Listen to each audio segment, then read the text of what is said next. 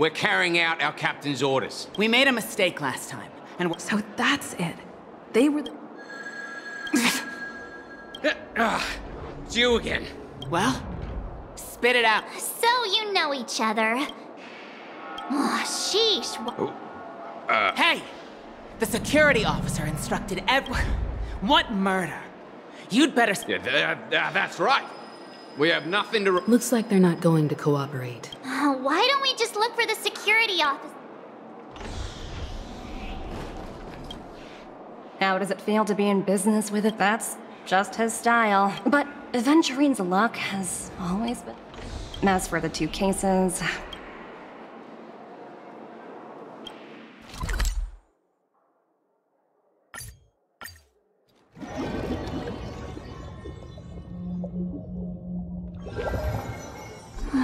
Such tight security.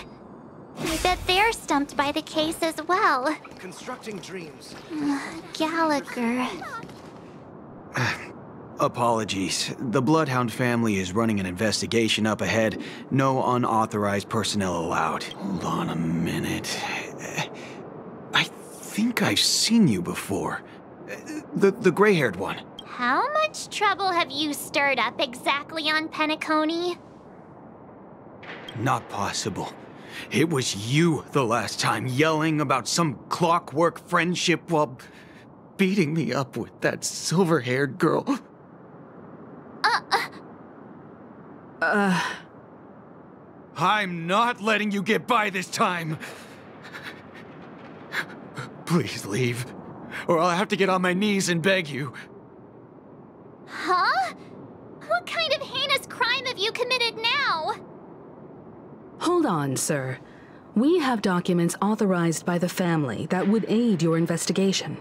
Who exactly is this gal? Uh, he didn't send you all? It was the security off. Uh, he'll do. He's. Sorry, no can do. Everyone, please leave. We're really sorry for troubling you. Another way. Can you perform it again? Please?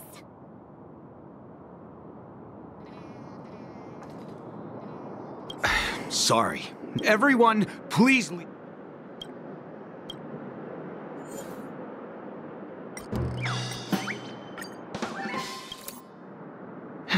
Let me. s- Whoa! It's this time our time to clock out. Uh, At least he won't be getting in our way again. I was wondering what all the commotion was. Huh. Oh, it's you guys. Welcome. Since you made it here, what can I do for you? Hello, Mr. Gallagher, sir. Judging from your tone, it sounds like you were expecting us. Miss Himeko, you're too polite. There's no need to call me sir. Mr. Gallagher, you even know my name. Of course I do. You folks are from the legendary Astral Express and honorable guests of the Watchmaker. I had an encounter with this lady in the Golden Hour. I remember that little silver-haired girl was there too. I'm sorry for what happened to that kid. This is also the reason why we've come to visit you, Mr. Gallagher. The Express can't just overlook the death of that child. So we've decided to help the family get to the bottom of it, in the hopes of getting justice for her. The Nameless involved with the family. What an unpredictable twist of fate. Why? What's wrong with the family? Uh, it's nothing. On Penacony, everyone loves the family.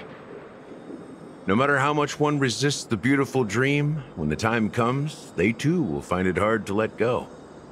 Who wants to leave a warm nest? Just idiots, little kids, and inebriated fools. Mr. Gallagher seems to be getting at something. Well, You got it wrong. I'm not. You want to discuss the case? Sure, come with me. This is not a good place to talk. Let's go elsewhere.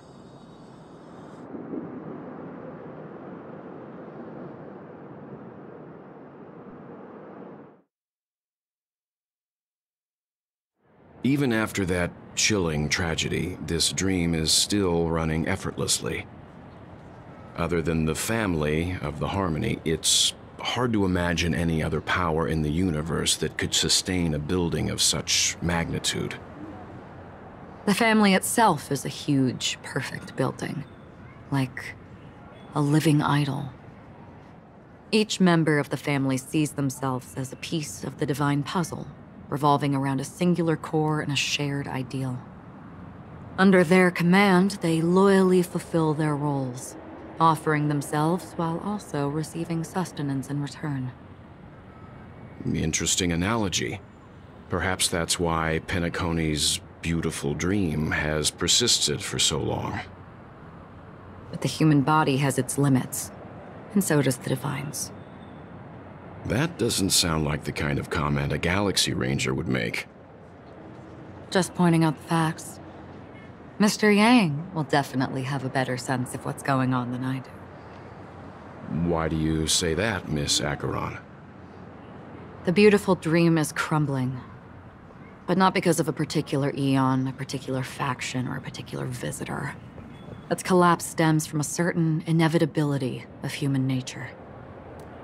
The family refuses to acknowledge this, and it has ultimately backfired and become a catalyst. As people immerse their souls in the dreamscape, where consequences and pain cease to exist, and only ease and pleasure prevail, they draw closer and closer to necrosis. Regardless of the perceived bliss, death looms as the inevitable conclusion. Also, this necrosis will diffuse and spread. One piece of the puzzle's mutation will eventually cause the entire building to shake, break, and crumble.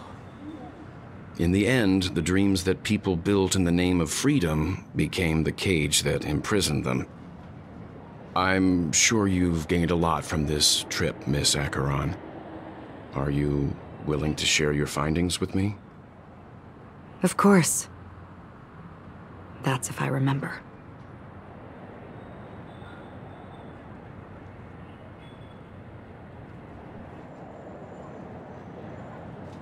Hmm.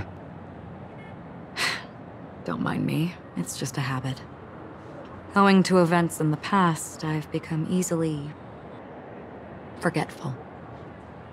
It's only when this sword is unsheathed that those hazy memories start to become clearer. Take your time. Hmm. That should do it.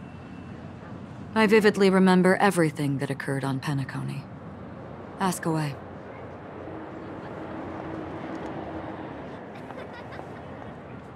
The moment of daybreak. I've heard that's where the Dawn Factory, which processes the foundation of the dreamscape, is located. Behind the dreamscape's song and dance stand many imagination factories. Workers create all kinds of whimsical works day in and day out in their dreams. Then they return to reality and sleep on a narrow bed in a room. A far cry from luxury. They say it will suffice. Experiencing the bizarre and motley dreamscape is the best reward. There, I encountered a young woman who had just come of age, the perfect time to indulge in beautiful dreams. Her greatest wish was to one day move to the golden hour and see the magnificent garments she had woven with her own hands. For certain reasons, her wish was difficult to fulfill. But I managed to bring her a garment. Gilded Hour. It's said to be Penacony's currency center. Yes. It is a fortress-like financial city, the economic heart of the dreamscape. The Pepeshi people of the Alfalfa family are there to keep it running, sending blood that is made from money everywhere on Penacony. Everyone there is exquisitely dressed and always in a hurry. The greatest wish of the local Pepeshi people is for their future generations to work in the Gilded Hour. I've never met anyone who is willing to talk. I could only stand at the crossroads, watching crowds of people hurrying like the wind through the jungle of steel, only to deposit the alfalfa credits that they'd earned into the bank's vault. I don't know if they would open the vault door, but before I left, I witnessed a well dressed Pepeshi person plummet from the sky, while those around him continued on their way, unfazed. I hear the Blue Hour is uh, very romantic. Do you have any tales to share? Perhaps Mr. Yang has heard. There is a large boat called the Eventide, anchored along the Sea of Dreams, where soft music and dancing persist endlessly every night. I ran into a wizened lady there. She was at the dock, waiting for her long departed lover to return, waiting for countless hours within time that stood still. In the humid sea breeze, she spoke of her own youth. Like many who desired wealth and love, they came to Penacony to pursue their dreams. Alas, her lover's consciousness was lost in the dark depths of the Sea of Dreams. Finally, she suggested we continue our conversation on a boat in the shallows. I agreed and boarded the boat with her. But she never said anything. Her eyes absent mindedly gazing at the horizon for what seemed like forever. Finally, we retreated to the beach. The dreamscape of chic, luxury, and consumerism, the moment of dusk. My companions have been there too.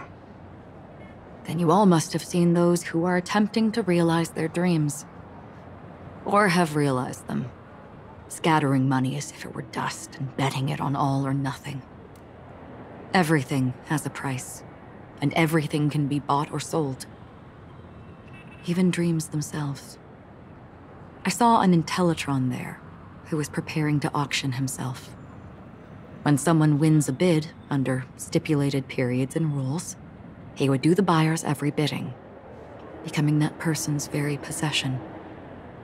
That Intellitron had been auctioned off a dozen times, and I participated in his 13th. That was the grandest banquet I had ever attended. But never again did anyone cast another glance at him. This time around, there were no successful bids for him.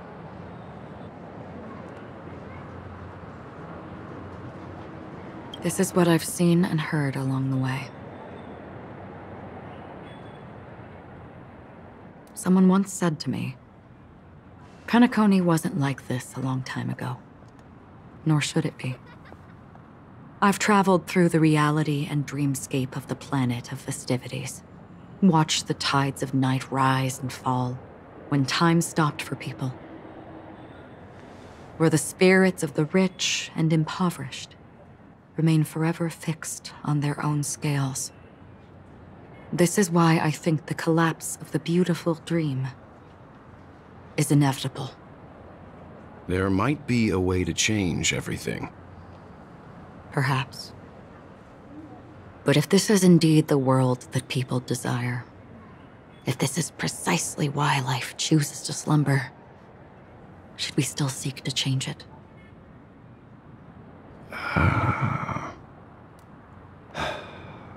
Miss Acheron, now it's my turn to share a story with you. There was a man from my homeland who, at a time when the world was grappling with deep, unhealable pain, made a choice. He wove together the dreams of everyone in the world, linking people's dreamscapes, and shouldered this burden himself. From this, he created a giant, a spiritual Adam. And since that moment, the giant stood between heaven and earth, becoming the pillar of the world's existence. As a price, those who found it hard to move forward, who could not advance, forever lost their future. They slumbered in a dream, devoid of disaster and pain, living out their days peacefully in the man's created utopia. And it is because of the wishes of those people who wished not to awaken that this spiritual Adam became unbreakable. And yet, you stand here right now. Which also means that man failed. Because people must always move towards the future. Even if human weaknesses make them pause when they truly cannot move forward, humanity will eventually seek a way to save itself. And that man, he was never a failure. Like everyone in that world, he etched the possibilities of human nature into his heart. He was the sun chaser of legend, soaring towards the sky and embracing his final victory with his fall. He ascended to heights uncharted, only to come face to face with the sun, a place not visited by anyone before. His wings would melt because of it, only for him to fall into the sea. And after that, countless others would surpass him, soaring to even greater heights. A fitting metaphor for the Nameless's trailblazing spirit. Thank you, Mr. Yang. I know what you wish to confirm. The universe has innumerable similar, yet different, worlds. In these worlds, there are innumerable people who look alike, yet don't.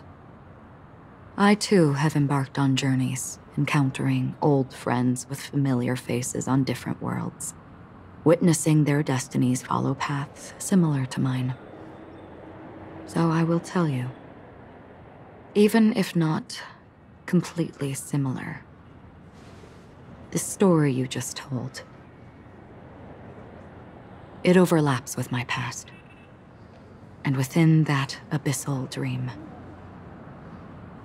I ended that man's life. Alone. I am not who you think I am. Nor will my home be as fortunate as your world. I am sorry. It's fine. I don't mind, so long as I can alleviate your suspicions. There's something I still wish to know, Miss Acheron. Under that representation of the hunt, exactly what sort of power is it that has motivated your solitary journey thus far? Mr. Yang, before answering that question, I wish to continue the previous topic. I like your analogy very much. Indeed, birds are born to fly. But in a distant past, their ancestors could only gaze at the sky in envy. They saw that faraway ray of light from above the heavens, piercing through the clouds and blanketing the earth. And so, time and time again, generation after generation, the birds spread their wings and took to the sky, attempting to touch its ceiling all because the sun was there. Then, what if the last bird finally soars into the sky, only to realize that the end of the light is not the sun, but darkness? Then why, exactly, do we even walk towards the light?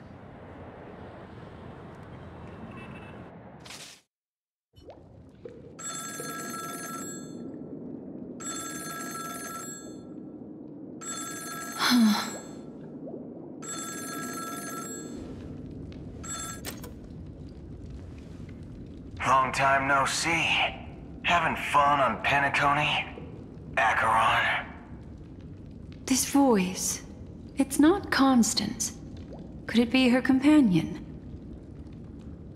Though I don't know exactly what you are, or what you're up to, my bullets will find you.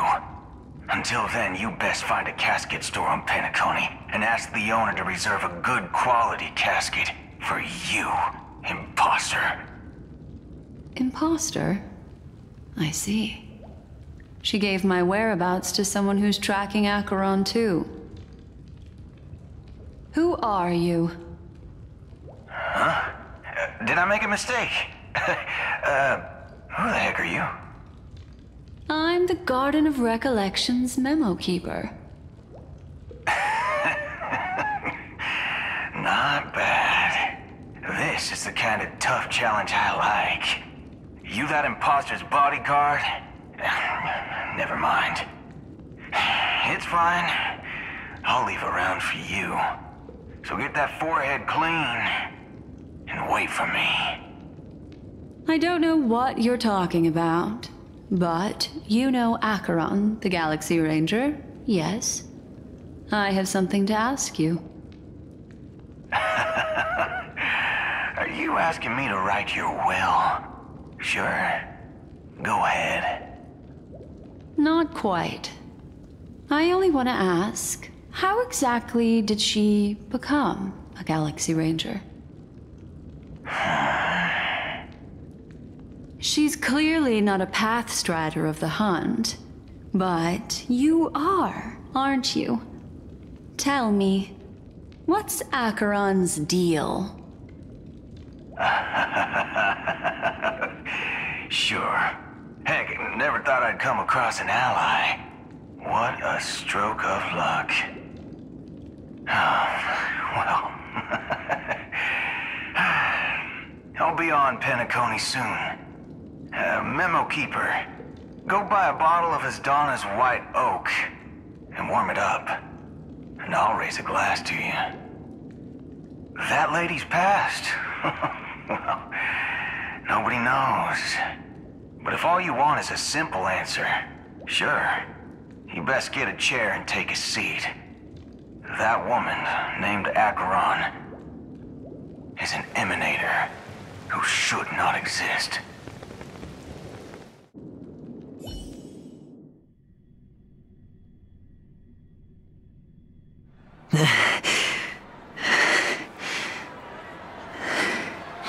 you look pale. Or is that also part of your act? I didn't think you'd have the nerve to show yourself. I thought this was exactly what you wanted.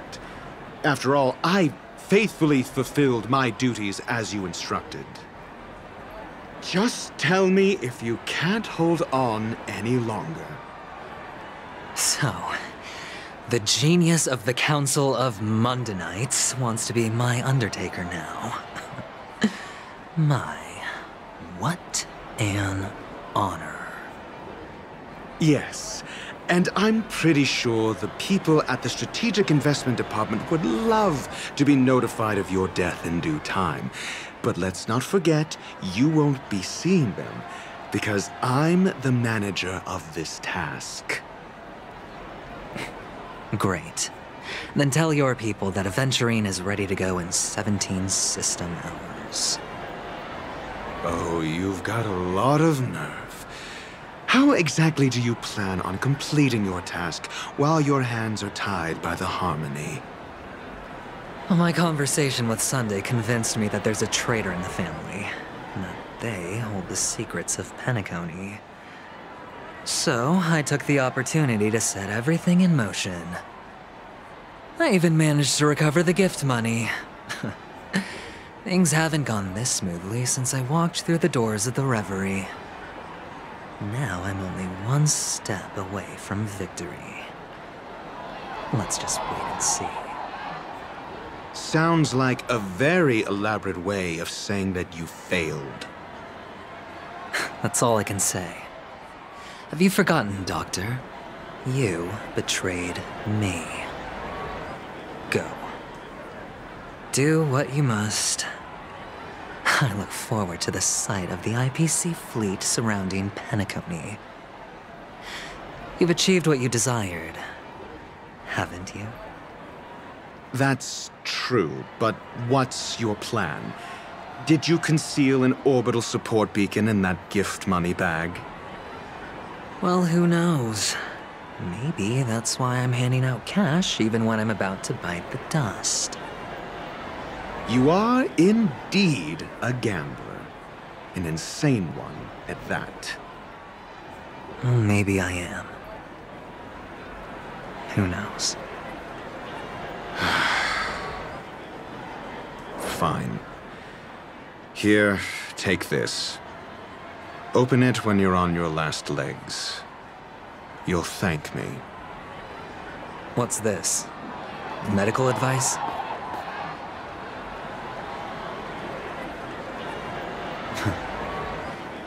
you catch on pretty fast, Doctor.